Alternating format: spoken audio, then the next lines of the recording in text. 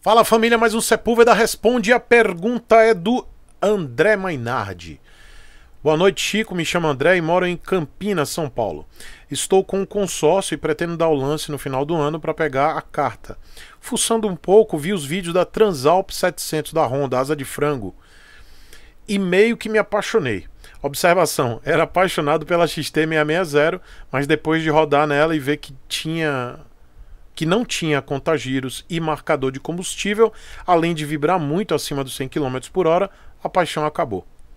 E voltando à Transalp, minhas dúvidas pairam em se ela é recomendável para viajar e se é uma moto boa, como em mecânica e custo de manutenção, e se ainda vale a pena ter uma em 2020.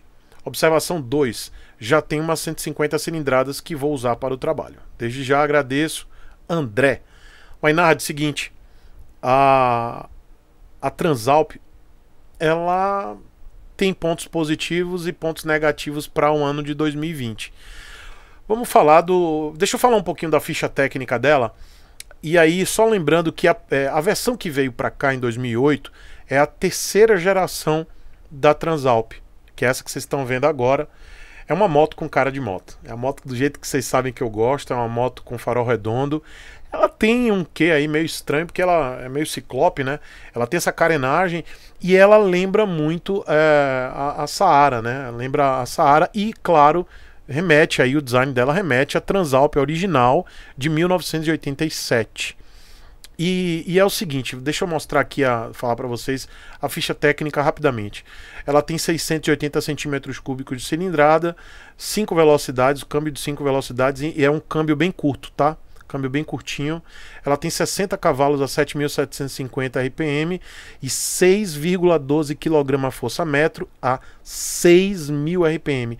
Ou seja, câmbio curtinho, é uma moto com muito torque, dá para você rodar aí é, em baixas rotações de boa, mas é um câmbio curto, né? E cinco velocidades, ou seja, é uma moto que ela preza mais torque do que velocidade final. Dá para rodar na rodovia? Sim, claro, dá para tranquilamente rodar, até porque ela tem roda de aro 19 na frente, diferente da, da primeira geração que tinha 21.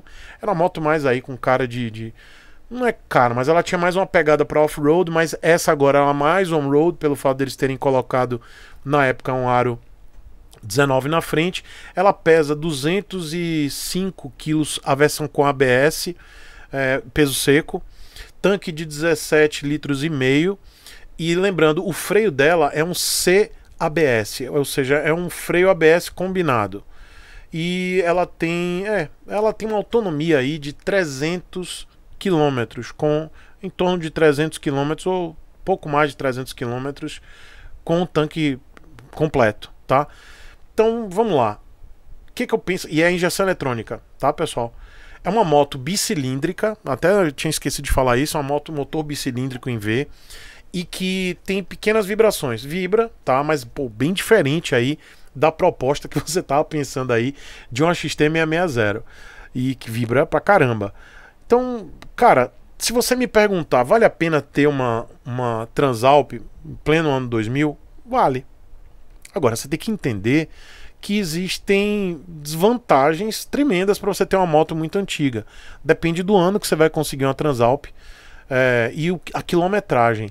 Ela é uma legítima Big Trail, tá? Eu lembro na época quando eu ainda quando era lançamento essa moto, eu fui na concessionária e ela tinha um valor absurdo. Ela era muito cara. Eu ficava revoltado com a Honda porque ela cobrava para uma moto, porque gente, ela ela não tem nada demais tá? Ela não tem eletrônica nenhuma, zero eletrônica. A versão que eu lembro que eu vi não era ABS, era normal e era caríssima. Imagina a versão com ABS. Hoje todas as motos têm ABS, até porque é lei, mas na época não era, então era um diferencial. Mas ela tinha uma concorrente direta que levava vantagem em alguns aspectos que era a BMW G650 GS que inclusive é uma das motos que eu indico bastante aqui no canal. Eu gosto muito dessa moto, pelo fato dela ter ABS, é uma moto mais econômica do que a Transalp, é uma moto que é, tem as mesmas capacidades de é, é técnicas e de, e de usabilidade de uma Transalp, com a diferença que é uma moto monocilíndrica. Né? E claro, uma moto monocilíndrica, ela não vai dar o mesmo conforto e potência de uma moto bicilíndrica. Então a Transalp ela acaba tendo mais torque, mas bem mais torque, 6,12 kg é, a 6.000 RPM. E é, já a BMW ela vai dar em um motor um pouco mais elástico e, um, e mais economia. E ela tem algumas eletrônicas, ela tem aquecedor de punho, ela tem um painel mais interessante, ela tem um design mais interessante também. Bom, isso é questão de gosto também. E uma mecânica também muito mais, é, hum, digo, durável. Porque realmente esse motor Rotax da, da BMW é incrível, é um motor incrível. Mas vamos lá, voltando para a Transalp 700. Recomendo Recomendo sim. Agora, e hoje está mais viável ter uma moto dessa. Assim como eu digo, também está mais viável você ter uma, uma XT660, a Transalp, a G650GS. São todas motocicletas que ainda vale a pena ter em 2020.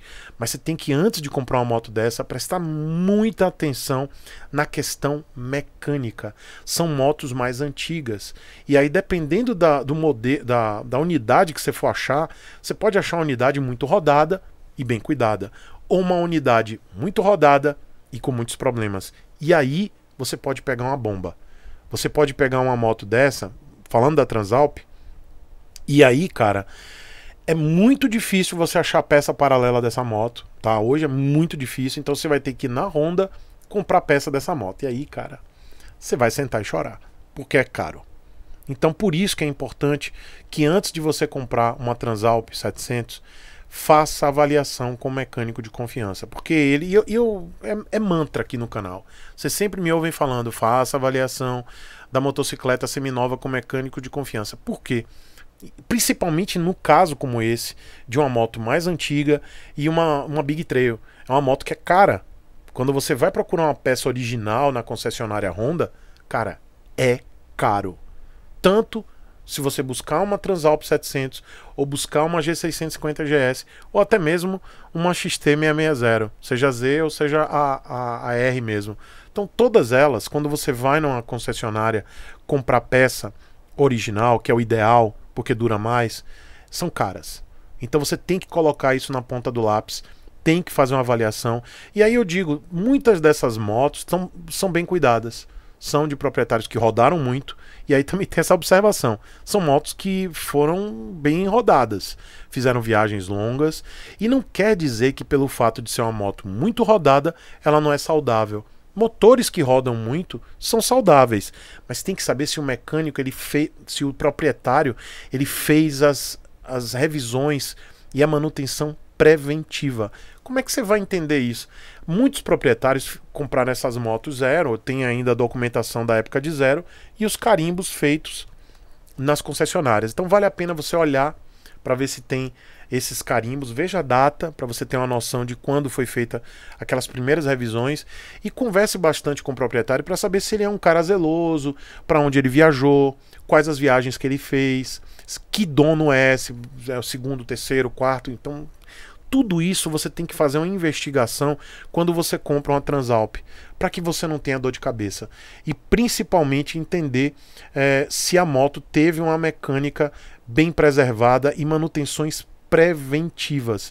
Porque, cara, se você comprar uma moto dessa sem uma avaliação e você tiver um BO numa parte mecânica ou ou no motor, principalmente no motor, cara, vai ficar caro. Lembrando, é, o kit de transmissão dessa moto é caro.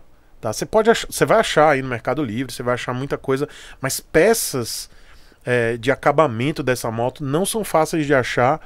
Tá? E se você tiver um problema mais sério no motor, cara, é, é muito problemático. Também veja se a sua carta de crédito ela você pode comprar uma moto seminova com essa carta de crédito. Alguns consórcios não permitem isso, então veja se é possível. E eu não vejo problema, tá? Transalp é uma moto boa, tem muito torque. Ela não é uma moto para final. Para velocidade final. Ela é uma moto para viagem, é uma moto muito confortável.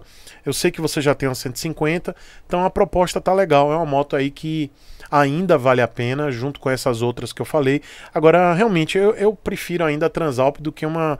Eu sei que a Meiota é uma moto que sobe parede, muito confiável, motor muito confiável, mas eu pensaria também numa Transalp porque ela é mais confortável mesmo para uma viagem mais longa. Ela e outra coisa, a Transalp é muito interessante para quem é mais baixinho, porque ela tem um banco mais baixo. Então, vale a pena até para os caras que têm aí 1,70m. Eu acho que vale a pena é, dar uma avaliada aí. Lembrando que a Transalp não é uma moto leve, tá? é uma moto pesada, mas a ciclística dela é muito boa, muito gostosa. Então, André, eu não vejo problema, mas veja, avalie essa questão da moto tá? Leve para o mecânico de confiança para fazer a avaliação dessa Transalp. Ou de qualquer uma outra que você queira seminova. Outra coisa, muito importante você avaliar seguro. Para avaliar se o seguro ainda pega nessa moto, porque cara, você rodar com uma moto dessa sem seguro é muito arriscado. Eu digo arriscado pela questão de, de um acidente, de você ter algum tombo, precisar trocar alguma peça, cara, pode ficar muito caro. Então avalie, veja com o pessoal da BNP, o, o contato está aqui na descrição, manda o contato para eles, peça para eles fazerem um, um orçamento para ver se vale a pena é, e se ainda tem alguma seguradora que eu acho que tem que aceita a Transalp aí, não sei que ano que você vai achar mas já é uma moto mais antiga, tá certo? E por último, vou pedir que você, meu inscrito, minha inscrita, deixe aqui seu comentário, sua sugestão de outras motos também para o André. Tá? Acho que vale a pena sim essas motos. A Transalp também vale muito a pena. Vocês me pediram muito para eu falar da Transalp. É, não é que eu não goste dela, mas é, tenho um pouco de medo em relação à mecânica. Né? Essa questão da mecânica, se der BO, galera, vai ser assustador. Mecânica e partes é, de acabamento dessa moto que não acha fácil no Mercado Livre, não acha fácil no mercado paralelo. Você só vai achar em, em concessionária e vai ter dificuldade tá? Foi uma moto que não vendeu tanto assim quanto a Honda gostaria, então por isso que eu digo que é uma moto que você tem que tomar um pouco de cuidado para que não tenha nenhum tipo de, de, dor de cabeça, acidente, tombar a moto. Diferente, por exemplo, de uma XT660 que vendeu feito água, vendeu muito. Tem muita peça aí, você acha fácil. Mas uma Transalp não é uma moto que hoje você acha tão fácil assim tá bom? Deixa o comentário de vocês aqui, eu quero saber o que, vocês pensam. Deixa a opinião também. André, leia os comentários da galera, tá certo? Me sigam lá no Instagram, arroba Chico Sepúlveda. Acessem o meu site, chicosepúlveda.com.br. E se você quer me ajudar de alguma forma, seja membro aqui do canal. Beijão para vocês e até amanhã.